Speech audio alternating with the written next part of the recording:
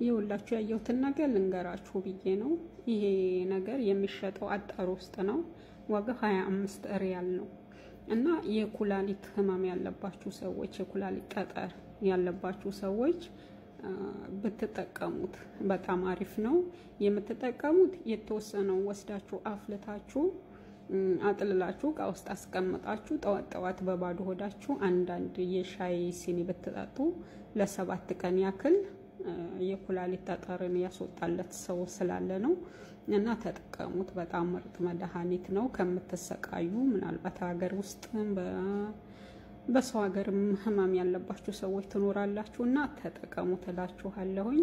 በጣም ምርጥ ነው፣ ግን በጣም በጣም ሲበዛ መራራ መራራ ነው። ያው እኔም ባይኖርብኝም አሰሪዎቼ እየተጠቀሙት ነው። ይኸውላችሁ እኛ እንደዚህ የሚፈልገው እረፍት ነው። ኩላሊት የሚፈልገው ክትትል ነው። ኢንፌክሽን ያለባችሁ ደግሞ መድኃኒቱን ነግሬያችኋለሁ። ብዙ ሰዎች ይሄንን የነገርኳቸውን ተጠቅመው ድነዋል።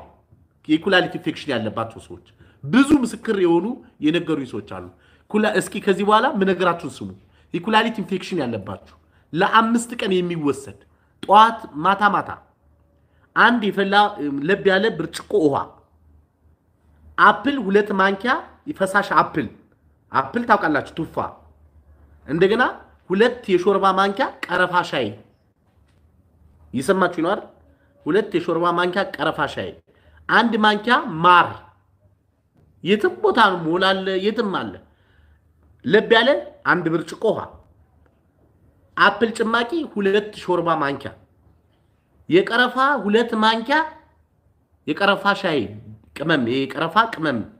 እንደገና ማር አንድ ማንኪያ አድርጋችሁ እሱን በደንብ አዋህዳችሁ ማታ ማታ ተኙ ስትሉ እሱን እየጠጣችሁ ተኙ። ኩላሊት ኢንፌክሽን ይድናል። ኩላሊት እግራችሁ የሚያብጣል። እግራችሁን ፍራሽ ላይ ትራስ ላይ አድርጋችሁ እረፍት ስጡ። በጀርባችሁ ተኝታችሁ ለተወሰነ ሰዓት እራሳችሁን እረፍት አድርጉ። ይሄ የሚጠቅማችሁ ለእናንተ ነው። እናንተ ስትኖሩ ወረቀቴ ተበላሽቷል፣ በምን ልግባ? ወረቀትሽ ከተበላሸ መግባት ትችያለሽ። ምን ሆነሽ ነው?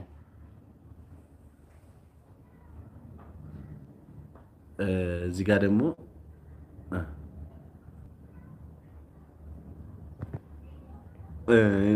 ሚሚ ለታመሙት ብቻ ነው የተናገርኩት፣ ለአንቺ አይደለም።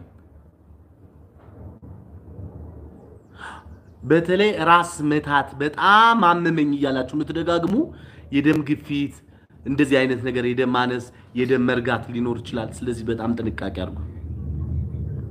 ጠዋት ጠዋት ስነሳ ወገቤን ያመኛል ምትል ልጅ አለች። የአንቺም የስፓይናር የዲስክ መንሸራተት እንዳያመጣብሽ ተጠንቀቂ።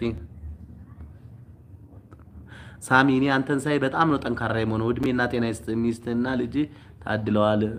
ኑሯቸው መልካም ነው። እንዴት ባትኖር ኖሮ ብዙ ነገር የምትለው። እሺ ሳሚ ምርጥ፣ እጅግ አድርገን እናመሰግናለን። ኮቤተሩን ግን ከቻልክ ከኢትዮጵያ ስንት እንደሆነ መረጃውን ስጠን። እሺ ሰጣችኋለሁ። አሁን ከዚህ ቀረጥ ምናምን ከምትጋፉሽ ግን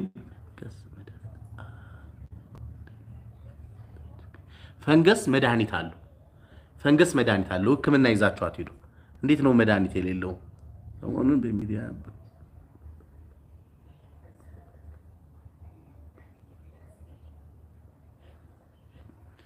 ኦኬ ሰሞኑን በሚዲያ ብሬን በወንድ ተበላው እያሉ እያለቀቅሳሉ። አንተም እየለፋን ሹም